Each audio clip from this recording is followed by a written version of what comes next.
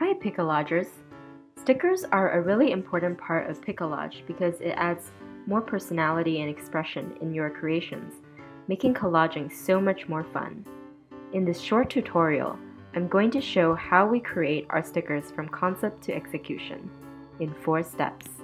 The first step is to pick a theme for your sticker pack. This can range from wedding to cats to words to Halloween. The most popular sticker packs are themed around universal holidays and seasons, such as Valentine's Day, spring, and birthday stickers. Once you have decided on a theme, start researching everything you can find out about it. When researching, pay special attention not just to the content, but also the style of your research. Each of our sticker packs has a unique style. A couple examples are chic, doodles, vintage, or photographic stickers.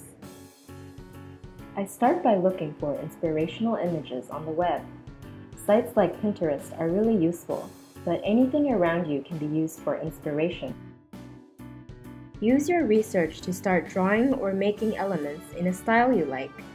You can draw them as vectors, use real photos, or draw them with pens or pastels. Watercolor is really popular now and I'll use some examples from our Tropical Paradise pack. I'll start drawing separate elements and eventually combine them in different ways so my pack has different types of stickers, such as individual elements, bursts, or badges. We usually have 24 to 28 stickers in a pack. After individual stickers are made, look at the sticker pack layout as a whole. Is there enough variety while still being cohesive? Are the stickers useful and versatile? Is the layout balanced? Finally, make sure to actually test them in our app first. Your stickers might look different on a device with different photos and backgrounds. Before you submit, double check that you followed our sticker guidelines correctly.